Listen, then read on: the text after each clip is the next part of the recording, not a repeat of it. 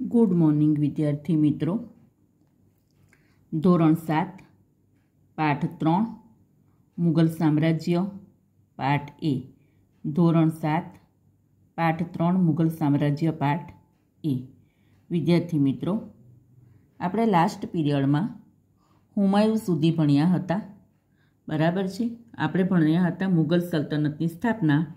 એમાં આપણે મુગલ શાસનો, બાબર, હુમાયુ એનો પરિચય મેળવ્યો હતો. આજે આપણે ભણીશું શેરશાહ શુરી શેરશાહ શુરી જુઓ વિદ્યાર્થી મિત્રો, અહીંયાથી આપણો બાકી હતો. શેરશાહ સુરી. ઈસવીસન પંદરસો ને ચાલીસથી ઈસવીસન પંદરસો ને પિસ્તાલીસ. તમારો પેજ નંબર છે તેર. શેરશાહ સુરી. ઈસવીસન પંદરસો ચાલીસથી ઈસવીસન પંદરસો ને પિસ્તાલીસ. શેરશાહ અફઘાન વંશનો મુસ્લિમ હતો. તેનું મૂળ નામ ફરીદ ખા, શું હતું તેનું મૂળ નામ? ફરીદ ખા હતું. હુમાયુને હરાવી, ભારત પર પોતાની સત્તા સ્થાપી. શેરશાહે કોને હરાવ્યો હતો? શેરશાહે હુમાયુને હરાવ્યો અને ભારત ઉપર એણે પોતાની સત્તા સ્થાપી. શેરશાહ પોતે એક સુધારક હતો, ન્યાયપ્રિય શાસક હતો. શેરશાહ ડાકો લૂંટારુઓને અંકુશમાં લઈ તેણે રાજ્યમાં શાંતિની સ્થાપના કરી હતી. આ બધું શું છે? તો આ બધા શેરશાહના સુધારાઓ છે. શેરશાહે નવી ટપાલ વ્યવસ્થા જુઓ, વિદ્યાર્થી મિત્રો, મેં અંડરલાઇન પણ કરેલી છે. શેરશાહે નવી ટપાલ વ્યવસ્થા ઊભી કરી હતી. તેણે વેપારીઓ જે વસ્તુની લેવેચ કરે એને શું કહેવાય? વેપારીઓ. અને યાત્રાળુઓ. બરાબર છે? જે પવિત્ર યાત્રાધામો હોય, બરાબર? પછી એ મંદિર હોય કે મસ્જિદ હોય. ત્યાં યાત્રા કરવા માટે જતા હોય છે કોઈ ધાર્મિક કાર્ય માટે, એને આપણે શું કહીએ છીએ? યાત્રાળુઓ. શેરશાહે વેપારીઓ અને યાત્રાળુઓ માટે શું બંધાવ્યું હતું? ધર્મશાળાઓ બંધાવી હતી. શેરશાહના સમયમાં રૂપિયાનું ચલણ શરૂ થયું. કોના સમયમાં રૂપિયાનું ચલણ શરૂ થયું હતું? શેરશાહના સમયમાં. શેરશાહે વિશાળ સેના નિર્મિત કરી હતી. નિર્મિત કરી હતી એટલે એનો અર્થ થાય છે કે બનાવી હતી. શેરશાહે એક મહાન રાજમાર્ગ ગ્રાન્ડ ત્રણ રોડનું નિર્માણ કરાવ્યું હતું, જે બંગાળ અને ઉત્તર ભારત સુધી વિસ્તરેલ હતું. શેરશાહ ઈસવીસન પંદરસો પિસ્તાલીસમાં તોપનું નિરીક્ષણ કરતા હતા, ત્યારે તેનું અકસ્માત થતાં મૃત્યુ થયું હતું.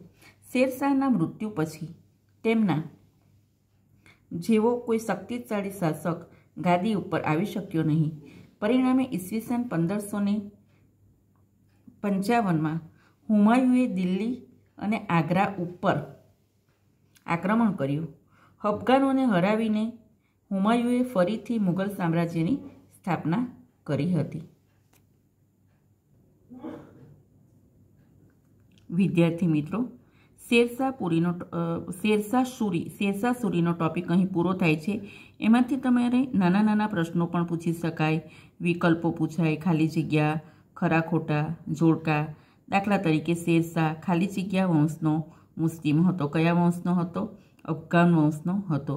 શેરશાહનું મૂળ નામ શું હતું? શેરશાહનું મૂળ નામ ફરીદ ખા શું હતું? ફરીદ ખા હતું. શેરશાહે કોને હરાવીને ભારત ઉપર સત્તા સ્થાપી હતી? શેરશાહે હુમાયુને હરાવીને ભારત ઉપર પોતાની સત્તા સ્થાપી હતી. એ ઉપરાંત તમને એક મોટો પ્રશ્ન પણ તમે કરી લેજો કે શેરશાહના સુધારાઓ જણાવો. એ તમારો મુદ્દાસર કે સવિસ્તાર ઉત્તર થશે. શેરશાહ સુધારક અને ન્યાયપ્રિય શાસક હતો. એક શેરશાહે બે નંબર ડાકુ લૂંટારુઓને હરાવીને, અંકુશમાં લઈને રાજ્યમાં શાંતિની સ્થાપના કરી હતી. એની આગળનો નંબર આવશે શેરશાહે ટપાલ વ્યવસ્થા ઊભી કરી હતી. શેરશાહે વેપારીઓ અને યાત્રાળુઓ માટે ધર્મશાળાઓ પણ બંધાવી હતી. શેરશાહના સમયમાં તેણે રૂપિયાનું ચલણ શરૂ કરાવ્યું હતું. શેરશાહે વિશાળ સેના બનાવી હતી.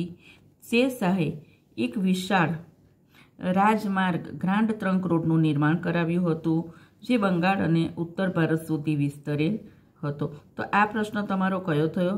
શેરશાહના સુધારાઓ જણાવો. એ તમને મુદ્દાસર ઉત્તર કે સવિસ્તાર ઉત્તર પણ પૂછી શકાય, એ તમે નોટમાં લખી નાખજો. ચાલો હવે વિદ્યાર્થી મિત્રો, આપણે નેક્સ્ટ ટોપિક જોઈશું. રાજા અકબર.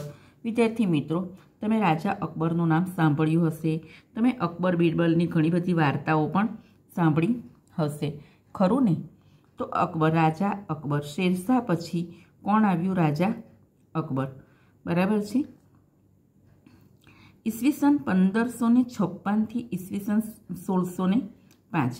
અકબર રાજા તરીકે ભારતના ઇતિહાસમાં ગણનાપત્ર સ્થાન ધરાવે છે. ઘણા બધા રાજાઓ આપણે ભણ્યા, પણ તમને આવી ખાલી જગ્યા બી પૂછાય કે ખાલી જગ્યા રાજા તરીકે ભારતના ઇતિહાસમાં ગણનાપાત્ર સ્થાન ધરાવે છે, તો એનો આન્સર તમને શું આવશે રાજા અકબર?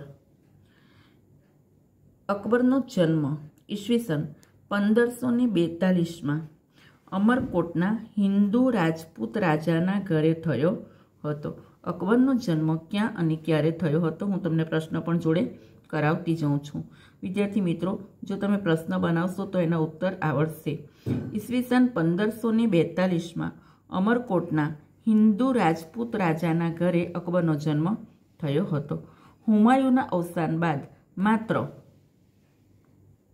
ચૌદ વર્ષની વયે તે દિલ્હીનો બાદશાહ બન્યો. અકબર કેટલા વર્ષની વયે દિલ્હીનો બાદશાહ એટલે કે રાજા બન્યો હતો? કેટલા વર્ષની ઉંમરે બન્યો હતો? માત્ર ને માત્ર ચૌદ વર્ષની ઉંમરે. હુમાયુના અવસાન બાદ અકબર અને હેમુ વચ્ચે ઈસવીસન પંદરસો ને છપ્પનમાં કયું યુદ્ધ થયું હતું? પાણીપતનું બીજું યુદ્ધ થયું હતું અને એમાં અકબરનો વિજય થયો હતો. તો પાણીપતનું બીજું યુદ્ધ કોની કોની વચ્ચે થયું હતું? એનું શું પરિણામ આવ્યું હતું? તો એનો આન્સર છે પાણીપતનું બીજું યુદ્ધ અકબર અને હેમુ વચ્ચે ઈસવીસન પંદરસો ને છપ્પનમાં ફિફ્ટીન ફિફ્ટી સિક્સમાં થયું હતું. અને એ યુદ્ધમાં અકબરનો વિજય થયો હતો. વિદ્યાર્થી મિત્રો, તમને ખબર છે, આપણે પાણીપતનું પ્રથમ યુદ્ધ પણ ભણી ગયા છે. બરાબર છે ને? ઉપર જે તમને આપ્યું છે ને, મુઘલ સલ્તનતની સ્થાપના, એમાં છે, જુઓ. એ પણ આપણે એકવાર ફરીથી રિવિઝન કરી લઈએ તો તમને વધારે સારું રહેશે. પાણીપતનું પ્રથમ યુદ્ધ કોની કોની વચ્ચે થયું હતું? ક્યારે થયું હતું? પાણીપતનું પ્રથમ યુદ્ધ બાબર અને ઇબ્રાહિમ લોદી વચ્ચે થયું હતું. કોની વચ્ચે થયું હતું? બાબર અને ઇબ્રાહિમ લોદી વચ્ચે થયું હતું. ટ્વેન્ટી એપ્રિલ પંદરસો ને છવ્વીસમાં થયું હતું, જેને આપણે પ્રાણીપતના પ્રથમ યુદ્ધ તરીકે ઓળખીએ છીએ. અને વિદ્યાર્થી મિત્રો, એ યુદ્ધમાં શું થયું હતું? તો પાણીપતના પ્રથમ યુદ્ધમાં શું થયું હતું? બાબરે તોપનો ઉપયોગ કર્યો હતો. બાબરે શું કર્યું હતું? તોપનો ઉપયોગ કર્યો હતો. અને ઇબ્રાહિમ લોદીને હરાવ્યો હતો અને ભારતમાં મુઘલ સામ્રાજ્યની સ્થાપના કરી હતી. તો આમ આપણે બંને યુદ્ધો યાદ રાખવાના છે કે પાણીપતનું પ્રથમ યુદ્ધ ક્યારે થયું, કોની કોની વચ્ચે થયું, એનું શું પરિણામ આવ્યું તો તમને આગળ પાઠ સારી રીતે સમજાતો જશે. બરાબર? પાણીપતનું પ્રથમ યુદ્ધ બાબર અને ઇબ્રાહિમ લોદી વચ્ચે થયું હતું. ક્યારે થયું હતું? ટ્વેન્ટી એપ્રિલ ફિફ્ટીન ટ્વેન્ટી સિક્સમાં. અને બા, કેમ એમાં ઇબ્રાહિમ લોદીની હાર થઈ? તો બાબરે આ યુદ્ધમાં તોપનો ઉપયોગ કર્યો હતો અને એણે ઇબ્રાહિમ લોદીને હરાવ્યો હતો અને ભારતમાં આ રીતે મુઘલ સામ્રાજ્યની સ્થાપના થઈ હતી. એ જ રીતે, વિદ્યાર્થી મિત્રો, બીજો પ્રશ્ન આપણે એક આ કરી લેવાનો. બરાબર? આપણો છેલ્લો પેરેગ્રાફ છે આમાં. બરાબર? અકબરમાં કે પાણીપતનું બીજું યુદ્ધ ક્યારે કોની કોની વચ્ચે થયું હતું. એનું શું પરિણામ આવ્યું હતું?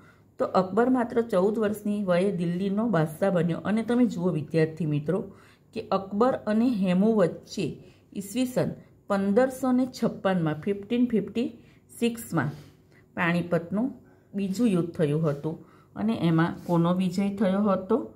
એમાં અકબરનો વિજય થયો હતો. વિદ્યાર્થી મિત્રો, અકબર એ બિનસાંપ્રદાયિકતામાં અને હંમેશા શેમાં માનતો હતો ધર્મનિરપેક્ષતામાં માનતો હતો. વિદ્યાર્થી મિત્રો, ઘણા બધા રાજાઓ થઈ ગયા. દાખલા તરીકે બાબર, હુમાયુ, જહાંગીર, શાહજહાં, ઔરંગઝેબ, બરાબર છે? આપણે બધા વિશે ભણીશું, પણ આ બધા જ રાજાઓમાં કયા રાજાની ગણના ભારતના ઇતિહાસમાં ખૂબ જ થાય છે ગણનાપાત્ર સ્થાન ધરાવે છે? તો આપણે શું લખવાનું કે અકબર રાજા તરીકે ભારતના ઇતિહાસમાં ગણનાપાત્ર સ્થાન ધરાવે છે. તમારું પાઠ એ અહીં પૂરું થાય છે.